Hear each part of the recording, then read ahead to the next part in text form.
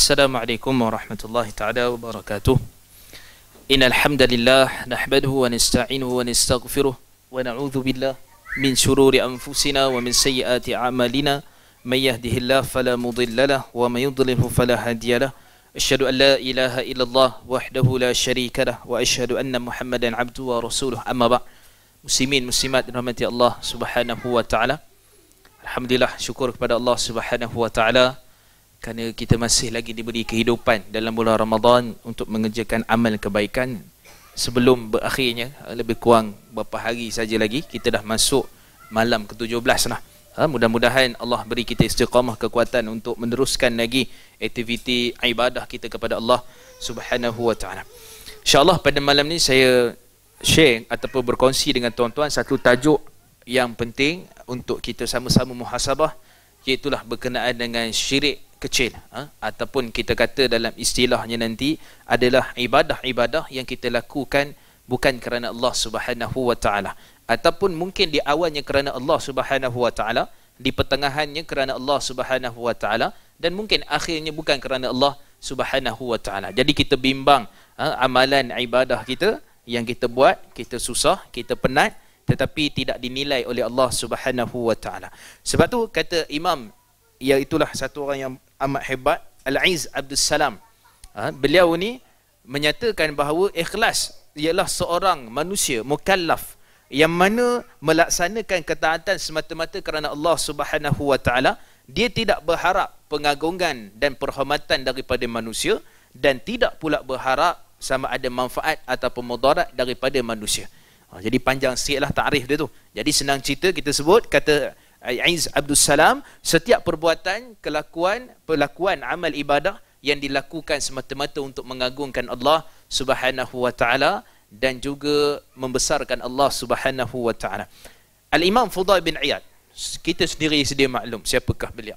Beliau menyebut beramal kerana manusia itu adalah syirik. Ha? beramal kerana manusia tidak kerana Allah adalah syirik. Dan beramal kerana dan tidak beramal kerana takutkan manusia dia adalah riak. Ha, eh. dan apa yang paling terbaik di kalangan sunnah wal jamaah ataupun di kalangan kita ialah menjauhi dua-dua perkara. Beramal kerana bukan kerana Allah pun kita tak buat. Beramal tidak beramal kerana takutkan manusia. Nanti orang kata nanti orang kata kita ni uh, warak sangat kan? Jadi tak payah buat agak tak payahlah pergi solat tarawih. Nanti orang kata warak. Ha, jadi ini kata Imam Fudail bin Iyad dua-dua ni kita jauhi. Kerana dia adalah merosakkan amalan kita. Yang mana kita sangka kita ikhlas kepada Allah Subhanahu wa taala. Tapi hakikatnya kita tidak ikhlas kepada Allah Subhanahu wa taala. Ha? baik. Jadi itu kata al-Imam Fudail bin Iyad rahimahullah. Baik. Kemudian bila kita sebut tentang melakukan ibadah kerana Allah Subhanahu wa taala kita kena tahu bahawa sangat susah untuk kita ikhlas kepada Allah Subhanahu wa taala.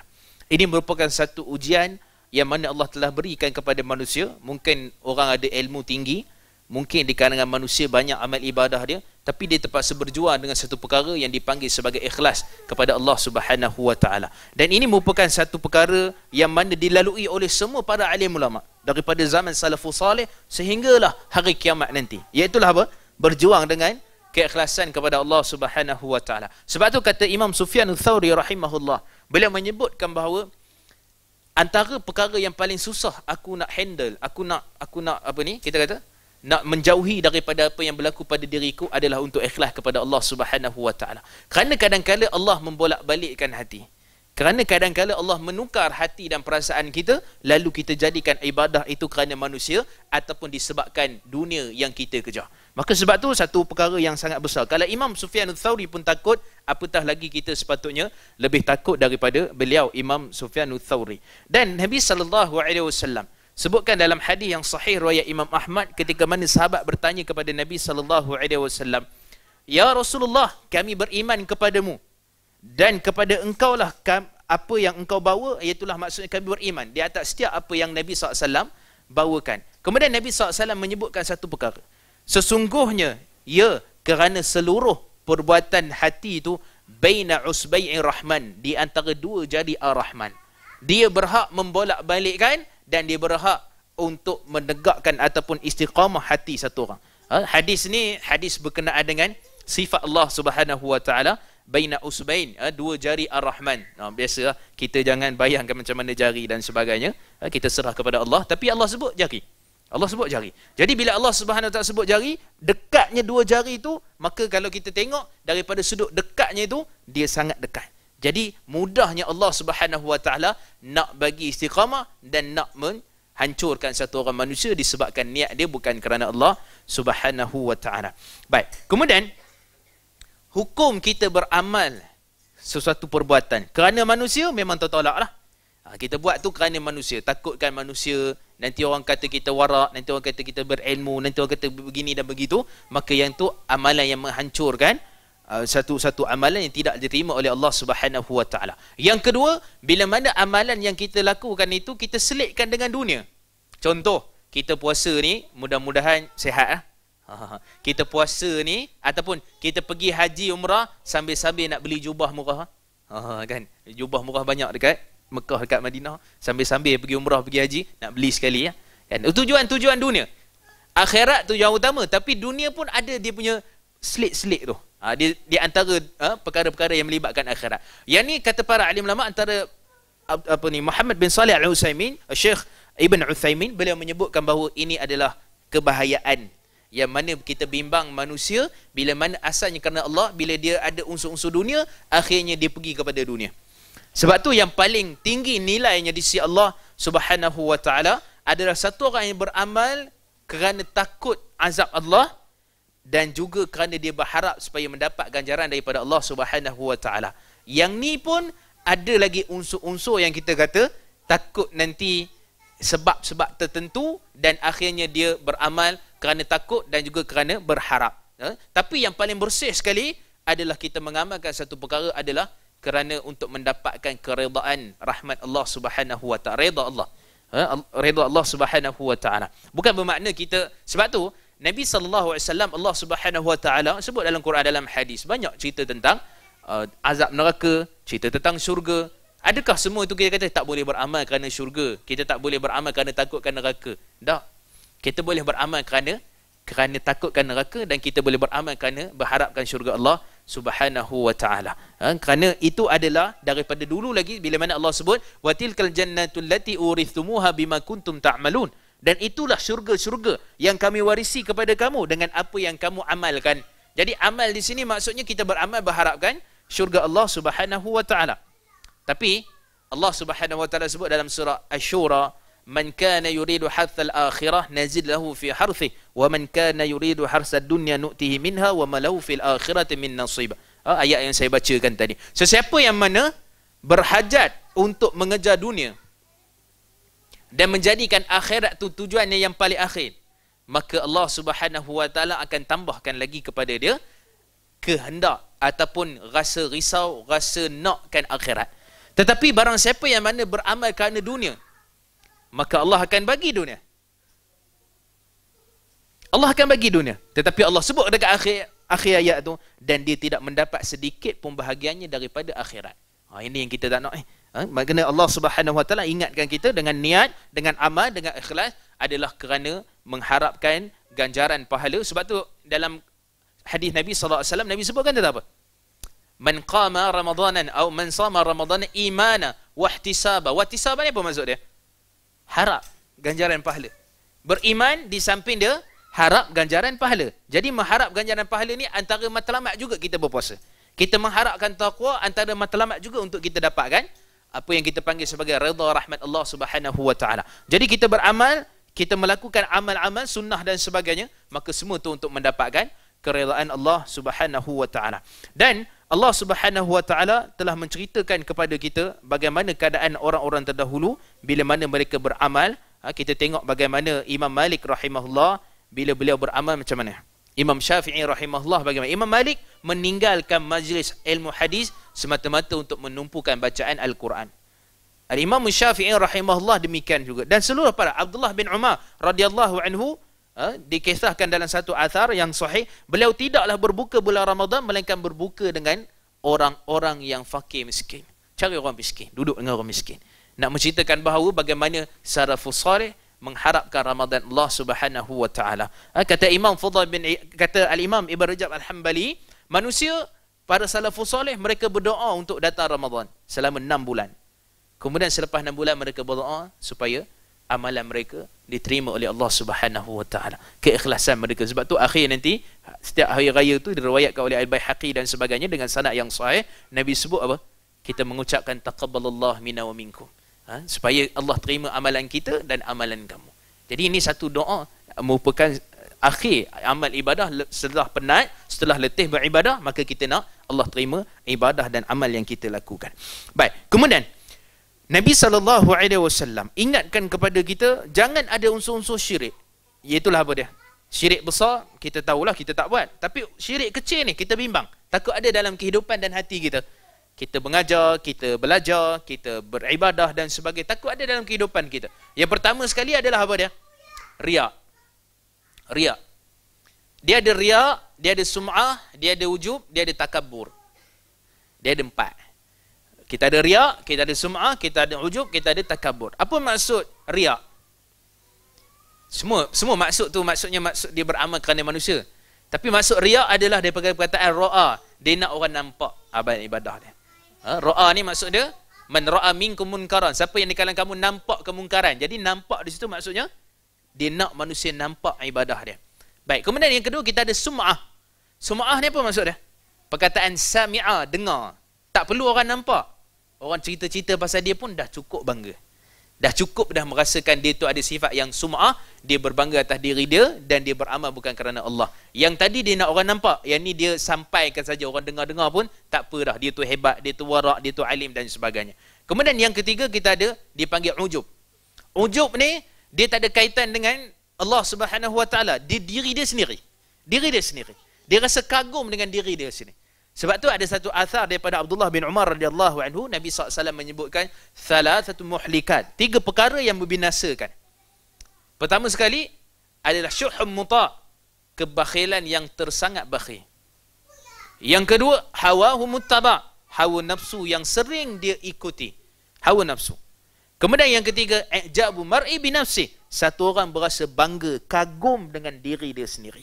Ha, yang ni yang dipanggil sebagai ujub. Rasa bangga dengan dia. Riak, dia nak orang nampak.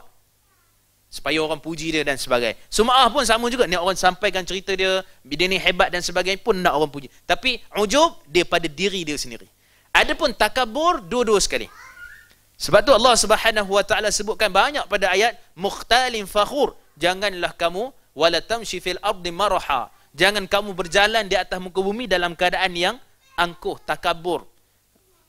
Inna Allah la yuhibbu kulla mukhtalin fakhur. Allah tidak suka bagi orang yang mana dia berbangga-bangga, takabur dengan dirinya sendiri. Ini juga antara sifat yang empat perkara yang mana boleh membidasakan amalan kita yang bukan kerana Allah Subhanahu wa taala. Ha, sebab tu tuan-tuan kita belajar sunnah Nabi sallallahu alaihi wasallam, sunnah untuk kita ikhlas kepada Allah, dia adalah satu benda yang sangat besar.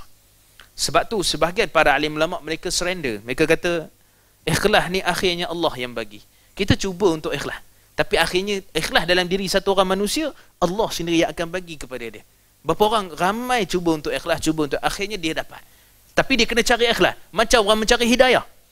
Cari hidayah, cari hidayah, akhirnya dia dapat cari sunnah dan sebagainya maka akhirnya dia dapat. Sama macam orang mencari ikhlas dia cari dia cuba dia lawan nafsu dan sebagainya maka akhirnya Allah sendiri akan kurniakan keikhlasan kepada dia. Walau bagaimanapun Nabi sallallahu alaihi wasallam para alim ulama mereka susun bagaimana antara cara kita nak ikhlas kepada Allah Subhanahu wa taala. Kita sendiri sedia maklum banyakkan kita berdoa. Sebab kita sebut dah tadi kerana ramainya para alim ulama mereka menyebut ikhlas tu Allah yang bagilah jadi bila kita doa kepada Allah Subhanahu Wa Taala supaya kita beramal betul-betul tulus kerana Allah ha, dan Allah tetapkan hati kita. Selalu doa ya muqallibal qulub tsabiq qalbi ala din. Wahai Tuhan yang membolak-balikkan hati aku, tetapkanlah hati aku di atas agamamu. Ha, kita minta ihdinas siratal mustaqim. Tunjuk ya Allah tunjukkanlah kami jalan yang lurus. Jalan yang lurus ni apa maksud dia? Semua hidayah, pertunjuk, istiqamah, tidak melencong, tidak terbabas, tidak ikut perkara-perkara yang bukan daripada sunnah Nabi wasallam dan seterusnya. Maka itu maksud ihdinas siratal mustaqim. Para ulama luaskan perkara ni. Dan bila mana kita sebut yang pertama Nabi sebut tentang doa. Yang kedua kita kalau boleh amalan-amalan sunat ni kita sembunyikan.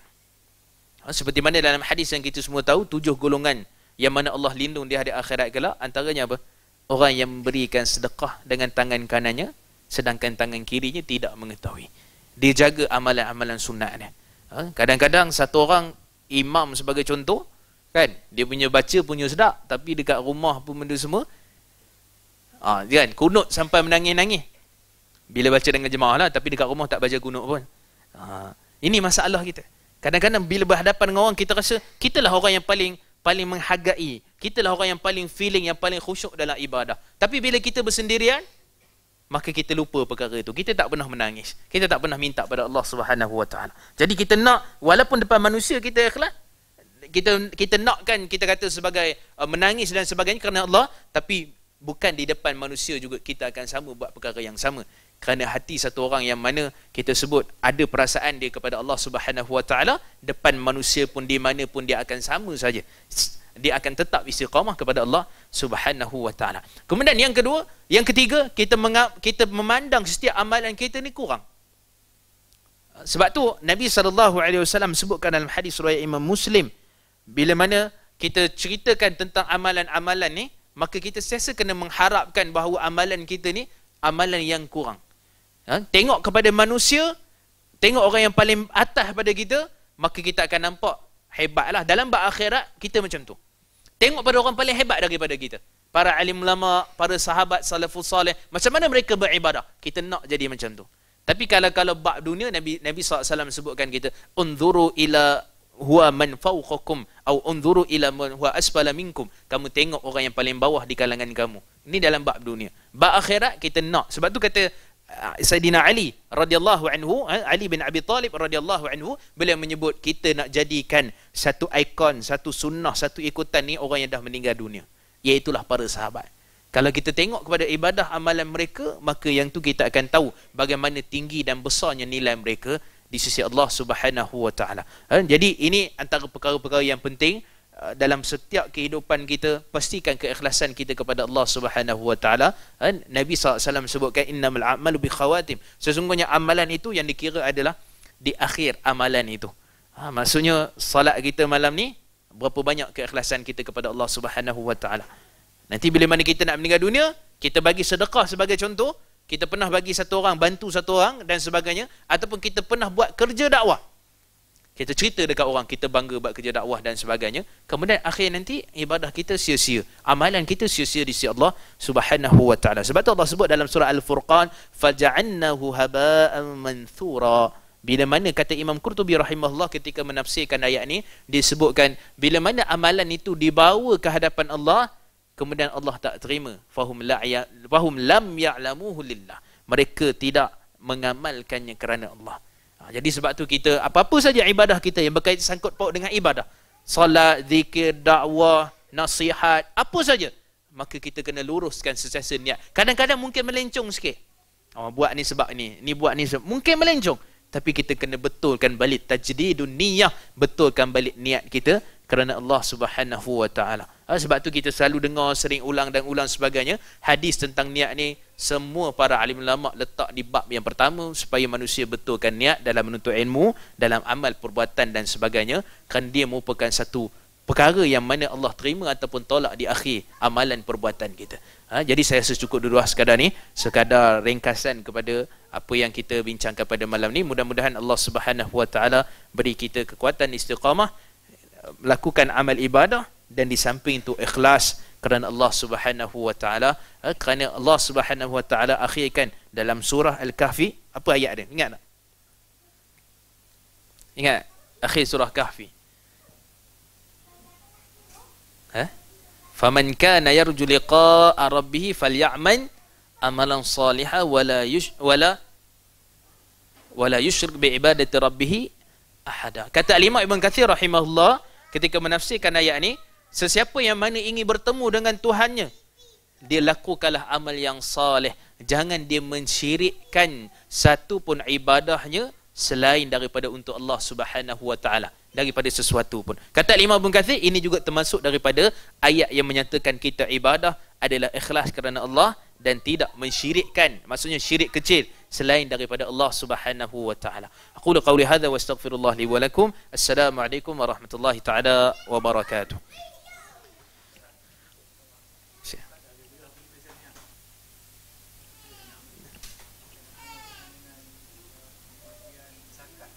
Sila.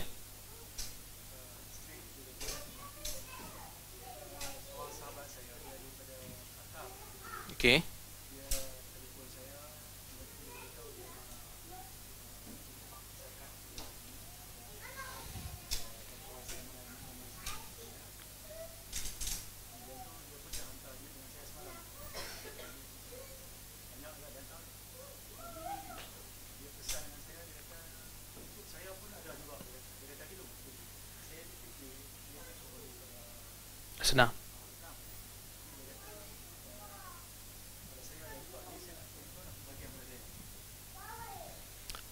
situ kalau ikutkan adakah dia termasuk dalam amilin ataupun tidak? Amil lah maksud dia yang menguruskan zakat tu. Ha, so adakah ia termasuk ataupun dia tidak termasuk? Sebahagian para ulama mereka mentarjihkan amil mestilah dilantik khusus oleh wali amri. Maksudnya dilantik oleh wali amri lah ataupun ulil amri. Iaitulah uh, ketua kita lah maksudnya kalau pusat zakat ataupun siapa yang mereka wakilkan setiap kampung setiap qaryah dan sebagainya sebahagian tidak mensyaratkan jadi kalau pada tu berapa bahagian yang dapat kita kata daripada sudut tu adakah lebih baik dia ambil pada harta zakat ataupun sebenarnya hadiah daripada apa yang kita buat tu. Wallahu taala alam bagi saya lebih baik kita ambil kita nyatakan pada sahabat kita tu hadiah. Jadi hadiah dia bagi bukan daripada zakat tu. Yang tu lebih lebih harmoni, yang tu lebih baik. Tapi adakah boleh kita ambil sebab kita uruskan zakat tu? Jawapannya kita boleh ambil tapi dalam istilah dia amil yang tidak dilantik khususlah oleh ulil amri. Tapi kita boleh. Berapa bahagian-bahagian kita boleh ambil? Satu pelapan ke? Ataupun berapa? Ah, secara asalnya satu pelapan lah.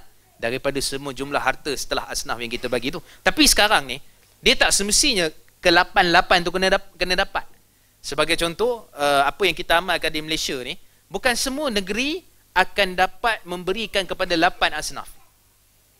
Antaranya, Bak Ibn Sabil yang mengaji Timur Tengah pun bukan setelah Timur Tengah buat buat apalah medik apa semua. Mereka hentikan untuk beri zakat pada situ kerana mereka nak fokuskan kepada fakir miskin. Benda tu boleh berlaku. Mungkin tak diberi kepada 8 asnaf mungkin 2 3 4 mungkin 5 asnaf dia bukan 8 sekaligus jadi kita kata daripada sudut tu adakah boleh kita ambil? Kita kata daripada sudut asalnya dia bukanlah daripada amir yang dilantik. Tapi dia boleh dapat. Ha, dia boleh dapat. Berapa? 1/8 ha? ha, itu bahagian-bahagian yang dibenarkan oleh syarak wallahu a'lam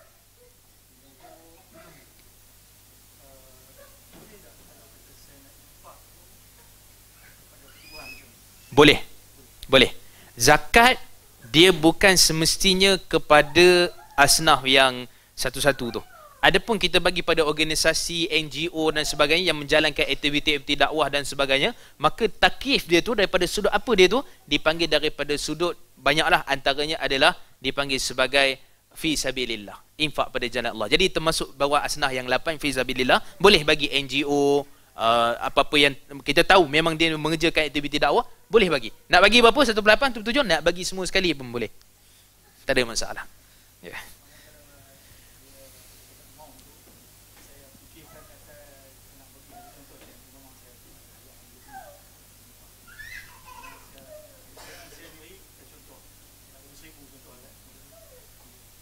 Boleh. Berapa amount yang ditentukan tu itu kita punya sendiri. Atas sendiri. Ah, ah ada sini. Hmm.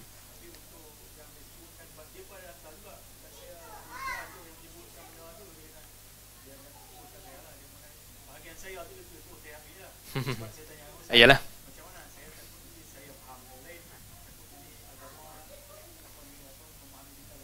Betul. Hmm. hmm. Boleh. Ada soalan lain ke? Apa-apa soalan? KBSP ke? Kira SP SP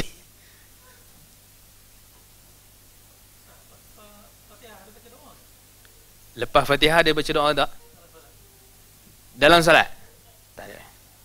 Cuma ada hadis yang khusus yang mana Nabi SAW sebut tentang berlindung daripada azab bila mana disebutkan pada ayat azab berlindung minta syurga Allah bila mana lalu pada ayat syurga secara umumnya dia sebutlah tapi secara letakkan khusus yang ni kena tak yang ni kena baca yang ni kena baca yang ni adalah beberapa tempat. Tapi Fatihah sendiri tidak adalah melainkan amin je lah.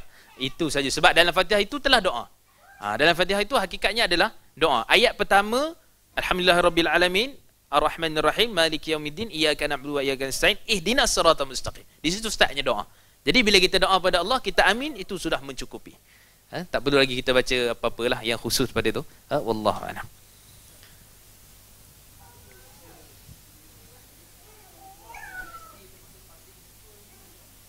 KBSP masuk? Public masuk. Public masuk adakah patuh syariah atau tidak? Patuh syariah. Boleh? Cuma sekarang ni siapa nak melabur unit trust tak berapa bagus sangat. Daripada sudut uh, profit dan sebagainya tak berapa bagus sangat. Uh, so cari yang lain kot ramai orang kata uh, tamu haji itu adalah tempat yang bagus melabur tamu haji bukan tempat melabur tapi dia profit dia tu dia dapat ah uh, daripada sudut keuntungan berapa 6.49% dan sebagainya tapi uh, unit trust dia banyak lah yang yang patuh syariah. Tapi tuan-tuan tengoklah mana yang tu. Biasanya perbankan dan sebagainya mereka ada buat. Ha? Allah Allah.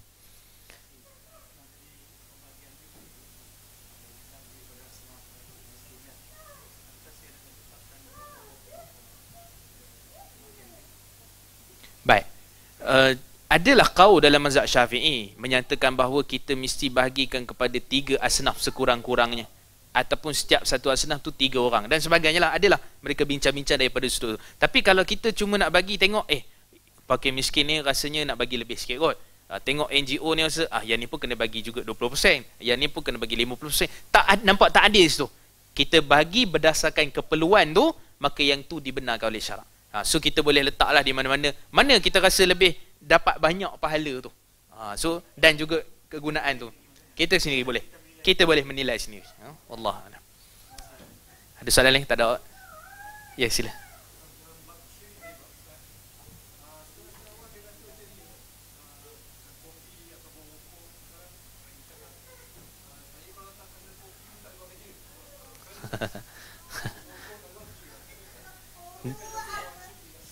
Dia yang tu uh, kena kembali kepada adat perkataan itu ataupun kembali kepada i'tiqad dia.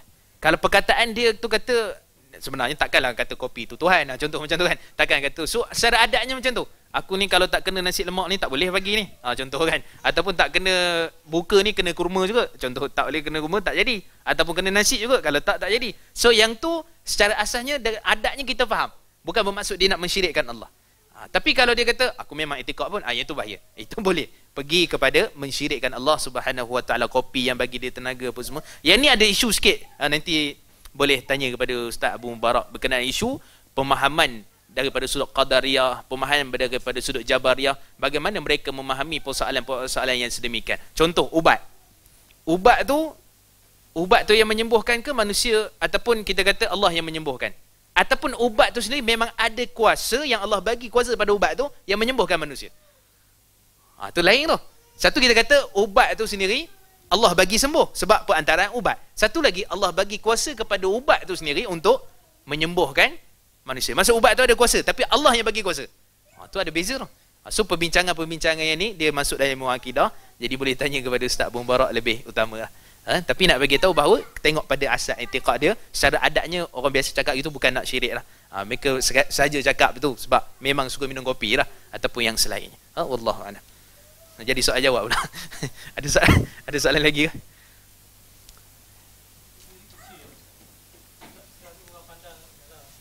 Pandang ni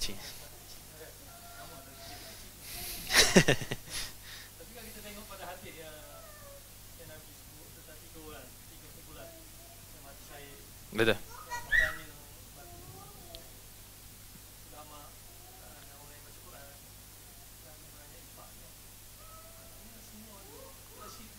syirik kecil.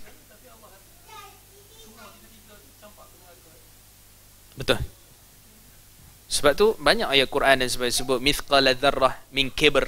Eh, ada sebesar zarah daripada rasa takabur. Dia boleh dicampakkan dalam neraka dan sebagainya. Sebab tu sangat penting berkenaan dengan ikhlas kita nak jaga sungguh. Supaya jangan lencong sikit pun, satu persen pun selain daripada Allah subhanahu wa ta'ala. Sebab kesan dia macam tiga orang tadi lah. Tiga golongan tadi tu. Memang Allah Subhanahu Wa Taala sebut diheret mereka tu dan dicampak dalam neraka. Dan banyak lagi hadis-hadis yang sedemikian dan ada hadis surah Imam Tirmizi hadis yang hasan Nabi sebut disebabkan eh, dia banyak dosa. Tapi sebab ikhlasnya dia mengucapkan dua kalimah asyhadu alla ilaha illallah la ilaha illallah muhammadar rasulullah keluar satu kad tu tokoh tu hadis ni mungkin tuan-tuan tahu sebab ikhlas dia buat benda tu dia dimasukkan ke syurga Allah Subhanahu wa taala. Jadi so kesan besar kepada ikhlas bukan maksud kita tak payah beramal, kita penting ikhlas. Tak, beramal dan ikhlas kepada Allah Subhanahu wa taala. Kerana kesan dia besar. Ya, seperti mana hadis yang kita uh, apa ni yang kita dengar tadi.